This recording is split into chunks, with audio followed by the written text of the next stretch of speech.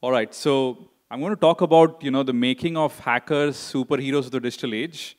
Uh, this is a passion project I've been working on for the past six months. A little bit about me. I mean, this is what they call the shameless self-promotion slides at conferences. Uh, I've been doing cybersecurity for longer than I'd like to admit. I think this is the 22nd year uh, of me doing this. Started off electronics communication, you know, did something in cybersecurity, uh, wrote a lot of the Catalyst 6500 code at Cisco back in 2004.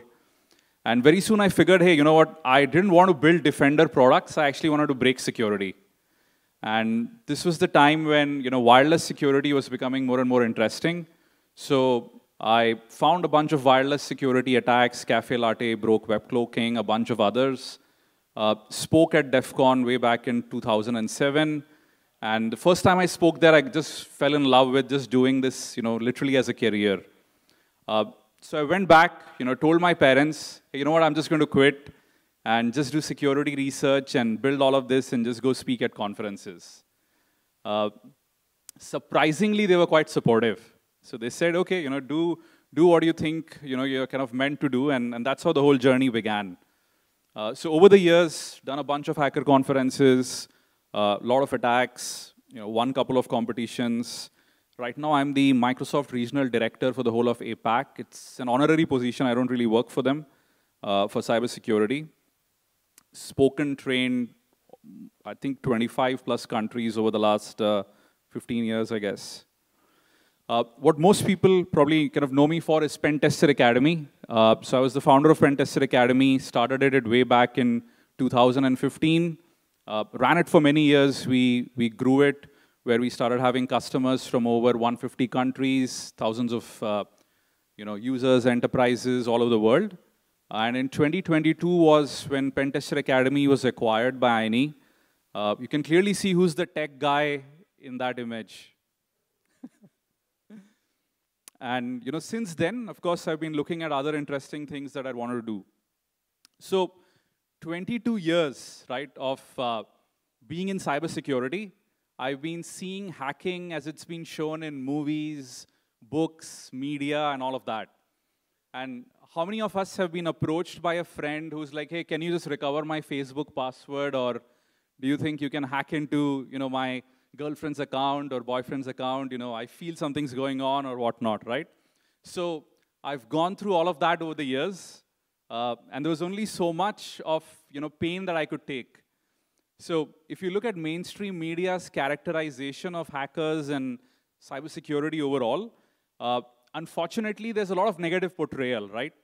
Uh, at the very same time, a lot of stereotypes right? Typically in a movie, you know, hacker is a guy who's just glued to a computer screen. That's all he knows. Uh, there's no other, you know, kind of interpretation of what a hacker could be, why he would do what he would do, and all of that, right? Uh, and being old enough where I've kind of read the Hacker Manifesto, some of you may have read in Phrack, uh, and all of that back in the day, you, you start feeling irritated. Uh, of course, not to mention all the unreal hacking scenes if you remember Swordfish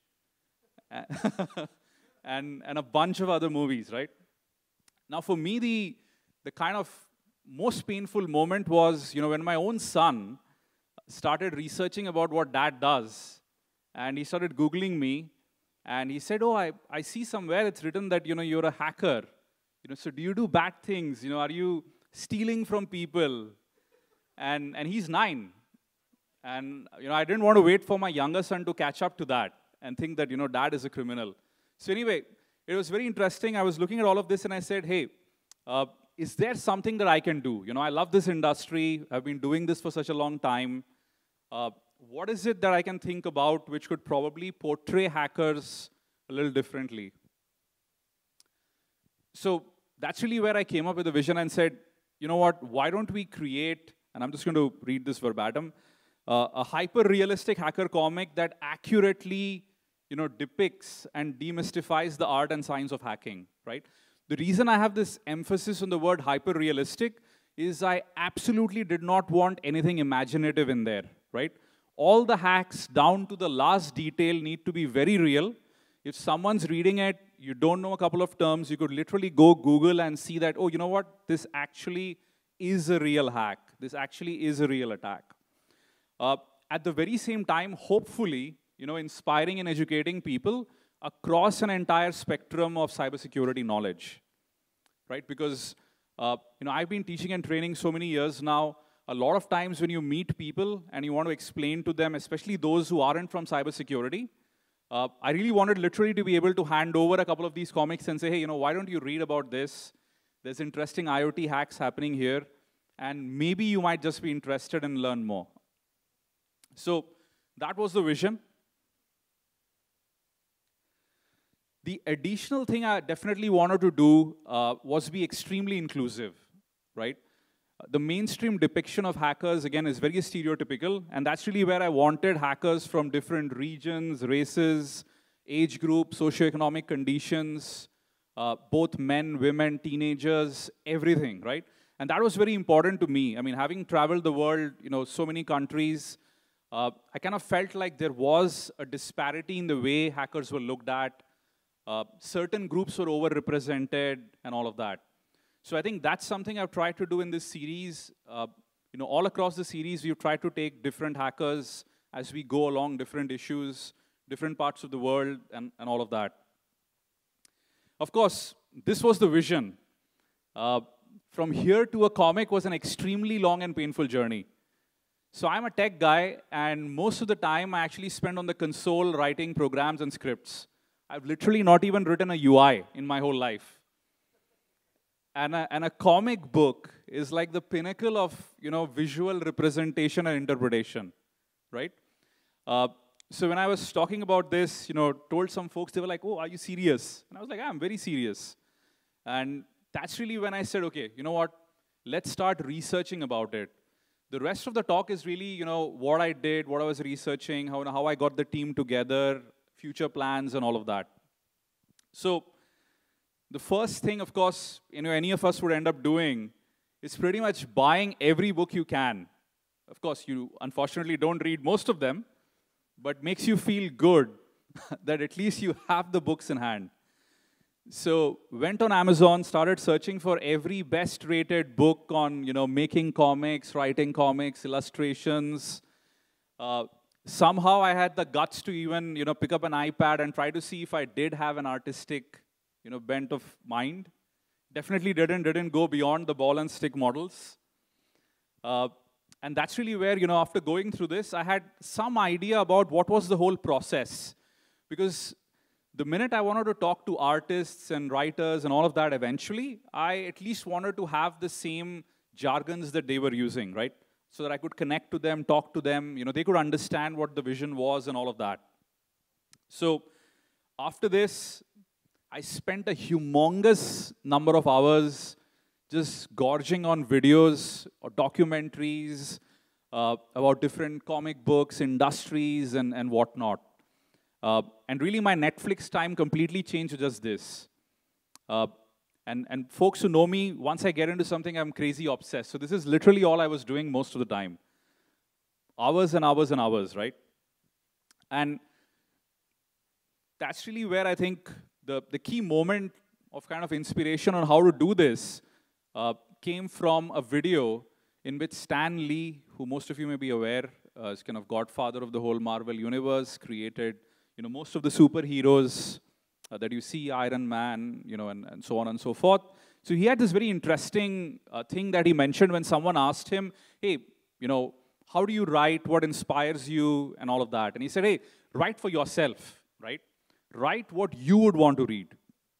And, and I think that simplified things because in the very beginning, when I was thinking of doing this, I started having so many different reader groups in mind, right? Reader groups across the different world. And, and I'm not a writer, right? Not a professional writer at all. Uh, written a lot of tech documentation and maybe a couple of essays when I had to in school. Like that, that's it. That's the most amount of writing I ever did. So I said, okay, this simplifies. Why don't I write something where I feel satisfied and I feel that I've done justice to the hacks, to the hacking, to the hackers, and all of that, right? So that's really where I kind of begun the journey. Uh, started thinking about storyboarding, you know, how do you introduce characters and all of that, and, and really completely absorbed myself into it. Came out after all of that with this awful looking draft on a bunch of papers where I said, okay, you know what, this is how the story is going to move. Here are the characters. This is what we want to do. Uh, this is probably how you know we are going to introduce each one of them. Maybe this would lead to a series and whatnot. So this was the very first draft, and when I looked at it, I said, hey, I need to set a deadline for myself, right? Because most passion projects end up dying because you don't set a deadline. You start something and then you just forget about it along the way. And then you start giving it lesser and lesser time, and eventually it just is just out of your mind altogether. So I said, okay, the best thing to probably do is put myself on a world stage at Comic Con and just get a booth over there and just say, hey, you know, I have to launch the entire comic series at Comic Con Singapore. And this was before I had hired anyone. I had even like decided what would be there in the series and whatnot, right? So I think the date was uh, May 25th. I sent a mail to Comic Con and I said, hey, how much, how much do I have to pay to get a booth? They responded, got an early spot on the booth, and I said, okay, let's go with this. So then I went back to my team and I started telling them, hey, you know what? Now we need to begin hiring. I have to hire folks who can draw. Uh, and then we went through a bunch of interviews. So the very first thing I tried is I tried to get freelancers online, and that didn't work. It's simply because, uh, unlike a piece of graphic art, comic books are sequential art, and there's a lot of things one has to be coherent about, right? How the characters are drawn, how things flow. And I quickly figured that if you just hired somebody external to do it on the side, it probably isn't going to work out well. So then I said, you know what, if I'm really serious about doing this as a bunch of issues or, or probably as long as I can, why not just get a full time team? And that's really where we started hiring a full time team. So we were lucky, you know, I managed to hire Kwan, John. Weiming is, is right there. I forced him to take some pictures. Uh, and, you know, these guys are great artists, fantastic work. And that's really how we kind of started off.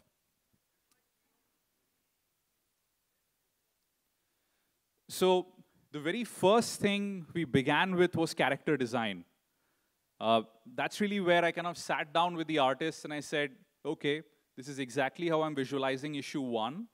These are the different characters. You can think about drawing them, portraying them. Uh, and this took quite a bit of time, right? Because when you look at a character, you always feel like, oh, maybe you could change this or you could change that. Finally, I had to decide and say, you know what, let's settle somewhere in between and say, this is good enough for the character and let's kind of like just move on. So character design is the very first phase of any comic book creation. Uh, the important thing here is you want to make sure that you at least flesh out all the important characters in the comic, the different perspectives in which you probably want to show them angry, sad, uh, you know, probably sitting in front of a computer, whatnot. And, and those are things which the artist can do and actually give you various options. So this is the final zeroed down set of characters. From there is where kind of the really long process begins, where you go ahead, create thumbnails for each of the pages. And this is a very iterative process. Uh, so I storyboarded, you know, the very first issue entirely, where I sat down and I said, okay, if I have to fill 30 pages, let's break the pages up and let's try to decide what sequentially I need to put in every page. The reason it's iterative is the moment you go to page 10, you suddenly feel, you know what, like page 8 and 9, I think I overdid one part. Then you go back once again, you fix that. Uh, and this took a bit, bit of time. I think I probably spent you know, 10, 12 hours a day at the very minimum uh, for a week, week and a half straight just to make sure it was like perfect the way at least I wanted it. Now, once the storyboarding happens, the very next step is when the artists kick in and they kind of come in and they start sketching. right? These are very rough early sketches. Uh, today's world, everything is digital. I mean, few people still do it, you know, paper and pen and ink, but most of it is just pure digital art. And that's when they start sketching, you know, I sit with the artists, give them feedback. I say, oh, you know what, this looks good. No, no, no, I, I need to see the access point because the attack is a wireless attack. You probably haven't shown the access point properly. Uh, let's bring that in focus and whatnot, right? Uh, so the very first phase, sketching, that's really where you can go back, change, make changes even to the storyboarding and whatnot. From that point on, you really cannot change much. It's this kind of going forward where you start inking it. Inking is really now, I mean, layman's term is shading, making sure that, you know, this is exactly how you want the characters to look like, uh, and all of that. It's a pretty intense process. I mean, one of the one of the big things that I've learned is how difficult it is for artists to create beautiful work. Like my appreciation for the art world and people making art has kind of gone like tenfold up since I went through the process with them. Uh, after the inking, you basically have coloring, which is kind of expected. Uh, this is interesting as well, right? Because how you color a comic kind of decides overall the tone of you know the whole narrative and so many other things and this was also something we, we kind of iterated over a bunch of times and said okay do we want to do it this way that way uh, maybe some of the pages need to be you know as you can see the last page in the comic kind of looks a bit fuzzy the main character because that's really where we're kind of trying to hide the identity of the character but at the very same time trying to tell you like hey you know he He's the protagonist in uh, all of this. So, all of this happened. Then I had to sit down and write dialogues. And that was an extremely interesting process. Uh, because it's, if you haven't done it, it's very, very difficult in the beginning to decide how you want to narrate the story from the perspective of different characters. And I think I really enjoyed the experience. Sat down, wrote the dialogues, uh, you know, my, my entire family had to read the different dialogues probably 10 times over. They were all fed up. There's like printouts of the comic all over the home. Uh, had everybody read and say, what do you think about this? What do you think about that? And kept revising. So once the dialogues and everything happened, we put the comic together. And that's really when we thought, okay, now's the time to print it. I haven't ever printed anything, right? Ever gotten printing anything. And then we said, okay, let's figure out how much it actually costs to get this done. And first I said, you know, well, we've done everything in Singapore, all the artists, everybody's right here, it is kind of created completely here. Let's also print it here. And then we got some quotes which were just impossible. So each comic, literally, we would have printed at 25 to 30 dollars. And we were like, hey, there's no way that we can do this kind of printing. So then, you know, Joseph on our team, you know, he contacted a lot of uh, printers based out of China. And then we started the process of talking to them, figuring out like, hey, you know, how does this all work? You know, what is the MOQ? Hundreds of other terms. And then finally we zeroed down on a printer who we liked uh, based upon the copies that he'd created. And then finally it went for printing. So this was a very surreal moment where the printer, you know, showed us a very simple video of the entire printing process. I'm going to play that. And it's almost like, for me, it was like a tearful kind of joy moment, uh, and for the rest of the team, because you were like, hey, finally this is going into print. Uh, I ordered 2,000 copies because you were doing a booth at Comic Con, so I was thinking maybe I'll give out like a thousand copies there. And then I wanted to reserve more for other conferences, you know, SINCON, you know, maybe even ship some to European conferences and US conferences later. Uh, and this was the whole process of them finally packing it, packaging it, I didn't know I had to register for customs. so, so literally a week before uh, you know Comic Con was going to happen, the packages arrived, but all of them were stuck at customs. So, so then we went ahead, created the you know uh, customs account, and thankfully it kind of you know got released the very next day. So yeah, so this was this was a very great moment for all of us. Uh, the books finally arrived at the office going to wait for And this is like 2,000 copies, right? We, we sat in the office, opened up all the boxes, frantically had to make sure that all the pages were printed right, they were in the right order, right? Anything is messed up, I'm like, I'm dead. Uh,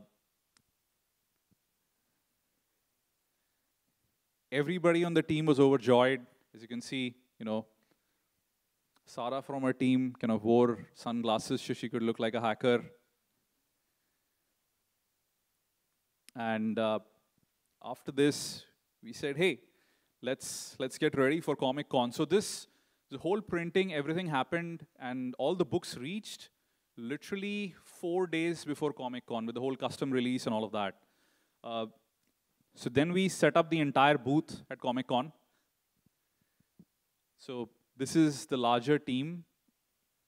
You can see Justine here on the left. She's right here.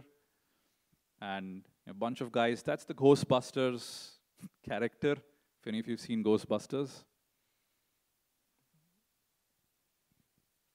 So this was a great moment where we felt like, hey, we kind of put together a project within five to six months. You know, we didn't know anything about comic book building, printing, none of that. Learned a lot of that along the way, put everything together. We also had many superheroes visit us as well as super villains at Comic Con. Uh, this is just two weeks back in December. We even had Santa Claus come in.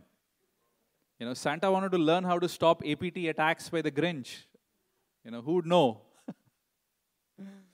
so I had Santa read through a couple of pages. And I said, hey, maybe you guys need some security in the North Pole, right? You're shipping so many packages. Supply chain security, yeah. so I think post Comic Con uh, is a very satisfying moment because as I said, like six months, a lot of hard work. And then I decided, hey, you know, now let's actually release the comic worldwide. And that's really when we set up the website, uh, vrncomics.com. And so the plan for me all, all along was, I mean, this was a passion project, right? I was not really planning to charge anything for the comic books themselves. So the e-edition of this comic and everything else, we just wanted to give it away for people to read, you know, because the idea really was to right a wrong, right? The mainstream characterization of how hackers are looked at and whatnot. So we said, hey, if you, if you just want an e-copy, you could just go to the website and, and get one. Uh, within 24 hours, it completely blew up.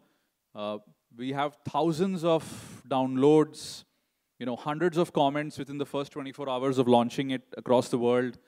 Uh, I think right now the downloads are, are, are pretty high. I haven't checked the last time, but probably tens of thousands. And, and that was very positive. I really felt like, oh, you know what, we did something which people are finding, you know, kind of worthwhile to comment about, right? It's a very high bar for someone on uh, LinkedIn or Facebook or Twitter to sit down, write a review, write something about it. Uh, so very, very satisfying moment for the whole team. So of course, uh, question is, you know, what next? And that's really where what most of you have right now is issue one. And we worked during those six months to ensure we already pre-create the future issues as well. So actually, issue number two uh, is already done, and so is three and four as well. So these are, of course, uh, you know, test print copies where you're still looking at the dialogues and a, and a bunch of other last-minute things. Uh, but the vision, as I said, is to kind of keep this on, probably run it as long, you know, as I can, which hopefully is going to be like another 10 years, 15 years, uh, just like I did Pentester Academy or, or previous projects. And the idea is to come out with a monthly issue. And the way the issues talk about the hacks and attacks is I've tried to make it very current. So the first one that you have when you get time to read, you know, it talks about a mix of, you know, IoT security, smart TV, Wi-Fi, and a couple of other things. Uh, the second one is interesting. It has a bit of AI security in it. Uh, it talks about gaming and you know how probably some game companies could end up creating biases and how to figure those things out and things like that. The third one is interesting. It's actually a ransomware attack on a hospital. Uh, where you know what happens and what does the hero do, you know, based upon uh, you know his wife being admitted there and all of that. So what I've tried to do is mix a very interesting storytelling with very technical details of actually how the hack happens and what's going on and all of that, right? Uh, of course, I, I cannot make it a lab manual. So when you look at the hacks and everything, you will see there is a good amount of detail, but not detail where you could just look at that and start typing commands on a console, right? Uh, then it's going to be boring. And really the idea was that, hey, if you don't know about this topic at all, you should be able to pick it up, enjoy the story, like, you know, what the hacks look like, and then go out there and maybe like research. Uh, the fourth one is interesting. It's actually a prison break. Uh, in the fourth one, what we really have is someone figuring out how the entire like prison software system worked and all of that because most of those are pretty antiquated uh, and what's happening, you know, and how he does something and whatnot. So all interesting stories. Along with that, we are releasing swag stickers. We gave away a lot of stickers here at SINCON. Uh, T-shirts might be available on the website for people who like it. You know, they could just purchase. Now, when I was thinking about this project, I was like, okay, what else can we actually do around this? Uh, and when you look at superheroes and all of that, at that point, I know many of you must have bought like action figures, right? Iron Man, uh, Spider Man, you know, whatnot. And that's actually where I asked myself, hey, why aren't there any tech action figures? Well, I can't call them action figures really. Lack of a better word, I'll, I'll still stick to that. And I was like, hey, isn't tech cool? Like, why can't we have like a nice little action figure, you know, of a hacker sitting on a computer just hacking away, right? Uh, or probably someone who's looking at hardware security, like looking at a you know, big circuit board and maybe looking at some JTAG connectors on it, uh, and make these around like three or four inches, where it's nice to kind of keep on your table. So you're a malware analyst, and it is maybe themed around malware and, and whatnot. Uh, so when I told my team this is the next thing, they were like, you've gone crazy? You've clearly gone crazy." So that's something we are now working on. so what we are trying to do is see if we could create like extremely detailed diagrams and convert these into vinyl toys and there are various, uh, various ways to kind of do it. And hopefully in the next three months, we should actually launch it. Uh, as of today, we are actually talking to a couple of you know guys based out of China who are already doing it for the Marvel toys and many others, and see if we can do this. So the idea really is, I mean, this is of course a base hacker version. Uh, you have you know a male as well as a female version, but after this, how do you customize this for let's say somebody who's doing malware analysis? How do you create something where you know someone who's doing hardware hacking, OT security, whatnot? So hopefully you could have like different versions based upon what you like, what you specialize. I think this is an amazing experience and uh, pretty grateful that I got to share with all of you. For all the future issues which you're going to release Jan onwards, you can just visit VRN Comics, you know, just add your email in there and you'll automatically get an intimation when the next issue is available. As I said, all the issues, as they're released every month, you can just read completely for free online. Uh, there's, there's no real charges, there's nothing. So there's no hidden costs, right? It's, it won't be that you open the PDF and five pages later there's like, enter your credit card, right? uh, so, all right, cool. So I think, thank you very much. Uh, hopefully you enjoy the comic. If you like it, you know, you can message me on LinkedIn, Twitter, uh, drop me an email. Would love to know your feedback. And later on, if any one of you want to, uh, you know, have the comic signed by me, more than happy, yeah, to do that as well. Thank you so much.